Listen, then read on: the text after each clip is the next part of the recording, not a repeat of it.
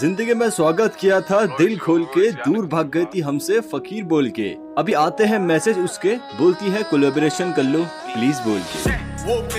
के